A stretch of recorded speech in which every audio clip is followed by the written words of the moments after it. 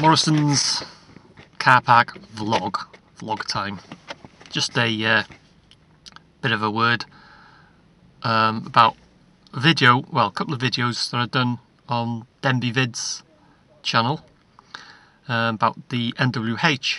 Um, hello, bloke looking at me there, thinking, what the fuck's he doing? Um, that's him, by the way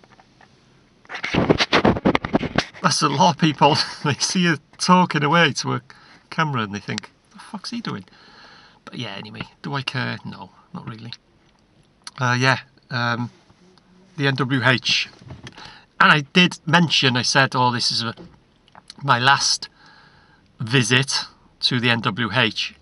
And I've had a lot of people saying, oh, you know, oh, this is not going to be your last video and this and that. What I meant, well, what, exactly what I said, it's my last visit because I've covered everything, you know, what I want to do, documented everything in the mental, uh, inside and out, day and night, the cinder track, haunted cinder track, and what have you, anyway. But yeah, it will be, I won't be probably, you know, before now that this work, you know, is going to start and things, are, the ball's going to start rolling and what have you. So I don't think I'll enter the grounds again. Um, but like I said in, in my security video, this is on Denbigh Vids, um, I don't advise anyone to enter the grounds now anyway. But uh, no doubt there will, security has got to, will arrive there shortly when they start, you know, doing the, the work and what have you. But no, I won't be not doing any more videos on the mental. I'll be, you know, um, filming. It'll be from the top road and what have you. Or it just depends, really. You know what happens and and all that. There, um, I will be documenting now the progress, what's going to happen to it, and this stuff like that. But uh, yeah, it will. That was probably was my last visit, you know, into the grounds because, like I say, I've I've been in there a million and one times. I've covered everything that I want to. So yeah, anyway, and also I'll be covering the uh, station yard. That'll be, uh, well, within a month, they're saying now. Station yard, the old Kwik Save. Got that on my Denbigh Vids channel. Um, the old Kwik Save supermarket.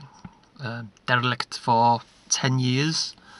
That's going to be start seven and a half million, multi-million pound retail complex and Aldi's, uh, Home Bargains, and I don't know, there's a few more, you know, retail units going to be arriving there, so I'll be uh, documenting what's been going on in that place. Um, it was a few weeks back now, the, the old Kwik Save was open.